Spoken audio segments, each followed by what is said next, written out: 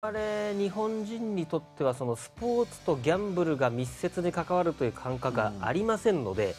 えー基本的にはできないですからね、はい。あのーやっぱイギリスのこの感覚っていうのはやっぱちょっと分かりにくい部分もあるんでちょっといろんな話をしてもらおうと思いますがブックメーカーはい。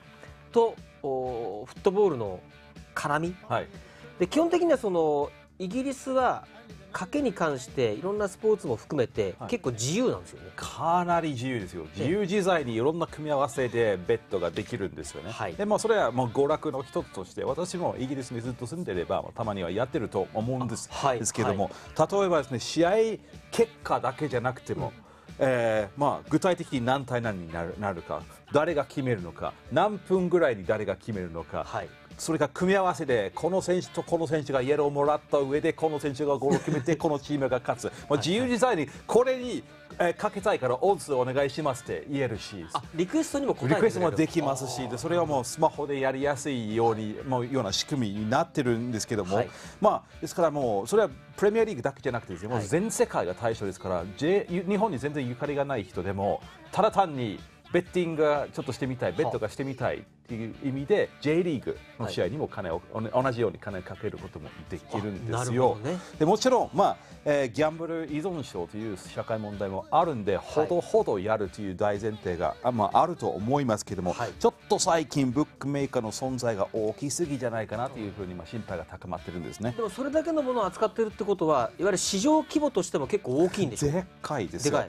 えーギャンブル各、えー業界のはい。総規模、えーですですけども、えー、もう1年間、えー、17年から18年の1年間ですね、はいえー145億ポンドなんですよ。これまあ英国民のベッド総計ですですけども。145億円じゃなく円じゃだから145 2, 億2兆円以上なんですすよ。ごいなこれ宝くじも含むんですけども、はああのまあオンラインベッドというのはですね、なんかスマホで簡単にできるんですし、はい。で同じ試合にも何回も組み合わせを組んでそれで、えーたくさんできるから実は宝くじよりもまあ2倍ほどのお金がかけられてるんですよねオンラインベッドの方ではですね。はいはいでもう英国人の大人の、まあまあ、3人に1人宝くじを除いて宝くじも大体みんなやってる感じですけども1か月で最低でも、えーまあ、一度ギャンブルをするというのも3人に1人ですしで病院の登記にここが問題ですよね、はいはい。病院によると英国民のまあ1%弱の人もはほぼ5万人がはい。依存症などギャンブル問題を抱えているんです。実はお金がない。はいはい。そんな余裕がないはずだけどちょっとギャンブルで金持ちになるかもしれないという誘惑がやはりあって、それでかけちゃって負けてまたなんかすごい問題になるっていうサイクルもあったりしますよね。1%結構いますね、はいでプレミアリーグ自体は、えーブックメーカーとはスポンサー契約はしてないと。リーグ自体はそうですけども、でもスポ、えー全20チームはそれぞれ公式スポンサーがついてるんですね、ブックメーカーが、 official bookmaker of Manchester United とか、大体ついてるんですよね。はいはい。で、えー今、プレミアリーグもちょうど半分のチーム、ユニフォームスポンサーがブックメーカーで、実はチャンピオンシップの方はですね、24チーム中17チーム、ブックメーカーと契約してて、それがもう、えーユニフォームスポンサーなんですね。で、チャンピオンシップから4分のもうリーグ、フットボールリーグ、EFL の公式スポンサーもスカイベッドですから、スカイベッドフットボールリーグ、スカイベッドチャンピオンシップって繰り返して、そのスカイベッドっていう単語が入ってくるんですよね。はい僕の地元トントンタウンが所属する7部リーグでもベッドビクターという看板スポンサーもついてますんで、はいもちろんどの試合でもこの今日の試合はベッドビクターサザンリーグの試合とかやっぱ入ってくるんですよね。はい。うん。じゃあスカイ系の、えーベッド会社ってことですよねこれねスカイベッド、スカイベッドの方は。ですね。はい。でこれスタジアムに行ってもそのブックメーカーの存在っていうのは結構感じるんですね。そうですね、はい。ちょちょっと前まではすごかったんですけどもああのプレミアリーグだったら電光掲示板あるんでしょう、はいそのスポンサーが出てくるの、はいでそれで、えースポンサーの名前だけじゃなくて今すぐベットすればはオッズはこうなんですよ。で試合中にスタジアムで出てきてたんですよ。それはでも誘われちゃうね。そうですよね。だから今夜リベプール対ウェスタンあるでしょ。はいはい。リベプールが先制したとすれば、それで、えーまあちょっと前までのルールだったら、じゃあこれでウェストハム勝利に100倍とか出てくる。あ出る今かけたら100倍ですよって。誘惑でですね。あ煽られちゃいますね、はいこれね。そうなんですよ。はい、でそういう状況なんで FA はですねこうヘッズアップっていうのはこれキャンペーンの名前ですか？はい。えっ、とこれはどういう意味？これはですね、まあ頭を、えー上げようという意味ですですけども、はい。まあえーこれメンタルヘルスのキャンキャンペーンですから、まあはい。へこむなという意味も入ってますしそれで、まあ、意識を、えー高める意味も入ってるから周りにもメンタルヘルスの問題と、まあ、戦ってる人いるかもしれないから、はい。えーその意識も必要ですよ。なんかそのなんか周りのみんなもちゃんちゃんと、まあえーね、気になって。いやえー啓蒙してるってことそうですね。はい。はい。でその一環で何 FA カップ3回戦でなんかキャンペーンやったんですね。そうですね、はい。Take a Minute っていうキャンペーンがあったんで、もうそれで1分間メンタルヘルスについていろいろと考えましょうという意味ではあ。Take a Minute だったんだから、ただえーどの試合、各試合のキックオフ時間を、えー1分遅らせたんですよね。はあ。現地時間3時キックオフのしかし3時1分とか、はでそれが、えーほとんどだったんだけど、それと同時にですね、一部の試合放映権を FA が実はブックメーカーに売ってたんですよね。ん1分待てと言っておきながら、はい、ですからもう英国内でその試合を見たいと思ってる人は、まあ、無料登録すればブックメーカーのホームページで見る。テレビでは見れないんだけどでで見ることはできるしベット必する必要はないんだけどもちろん同じ画面でオッズがたくさんたくさんたくさん出てくるんで、はい。もう誘惑ばっかりですよね。だからもうメンタルヘルスの問題の一つとして、まあ依存症依存症の一つとして、まあ、ギャンブル依存症ですから、はいはい。これこのキャンペーンで本当に大丈夫なんかな？これ FA でもだいぶ違うですね。それで結構批判を浴びました。はいはい。はい、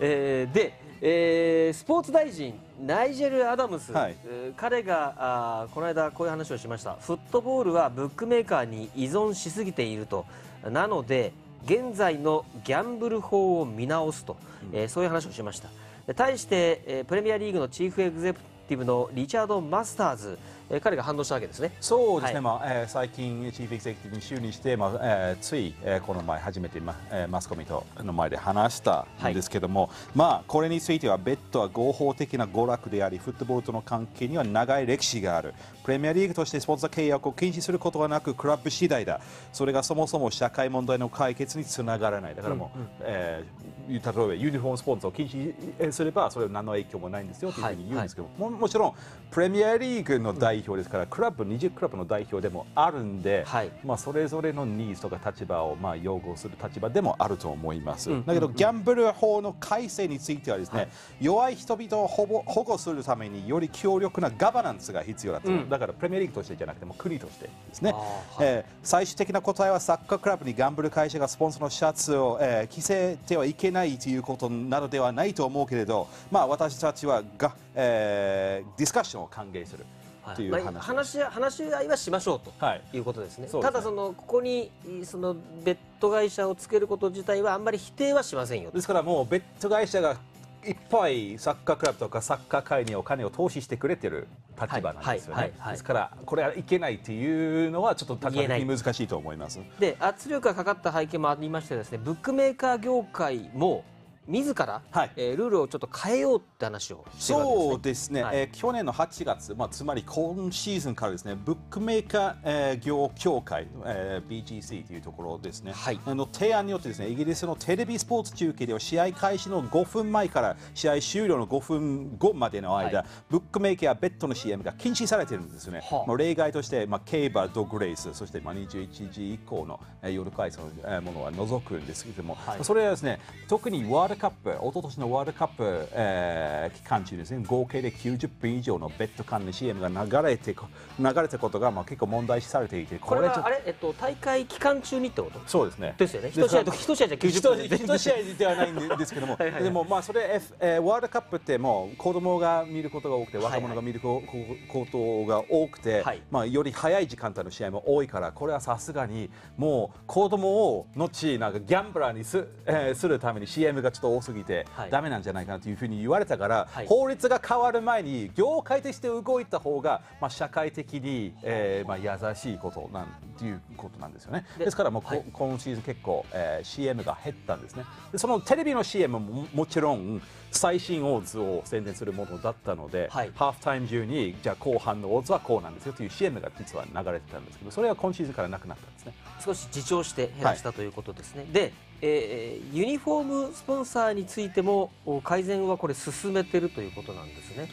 そうですね、えっ、と2月4日にですね、ブックメーカー業業協会の代表、えーはい。ブリジット・シムンズという人がですね、えーまあ、英国貴族院、まあ、上院ですね、はい。ユニフォームスポンサーとかオンライン広告について、まあ、改善を進めていることを明かしまして、はい。それと同時にこれからも業界としてフットボールに投資をして、その投資したお金が、まあ、グラスルーツ、えーとか、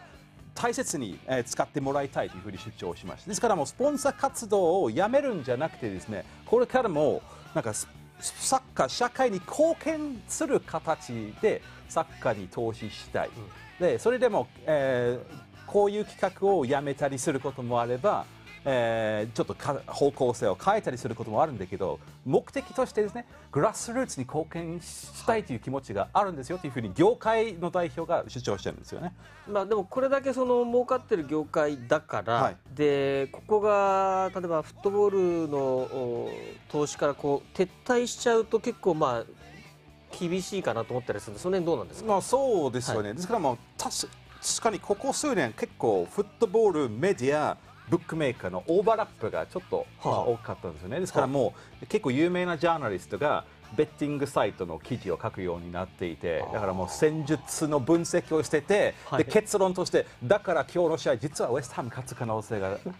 ありますよとかうんでそれでオッズはこうなんですよってさしてだからそういうちょっとオーバーラップが、まあ、どうなんかな。だけど、まあ、娯楽として昔からずっとあったんですよね、はいはいはいで、まあえーラッドブルックスとかコールとかそういう大手のブックメーカーもすでに、えーフットボールのスポンサー活動から撤退している一方でベッド365などがもうこれからもそれをまあ、どんどんやっていきたいと言ってるところもあるんですけども、い。まあ、はいいかに責任を持って貢献できる形にす、えーできるかというのが問題かなと思います。はい、ということで我々にはねちょっとやっぱギャンブルというのはどうしてもピンとこない部分があるんですけども、実はプレミアリーグこんな風にギャンブルと関与してますよはい。ということを今日は紹介いたしました。ちなみにベッド365これはストークのオーナーなんです、そうですね。はい、はい。えーということで、えー今日は時間になりました。また来週です、はい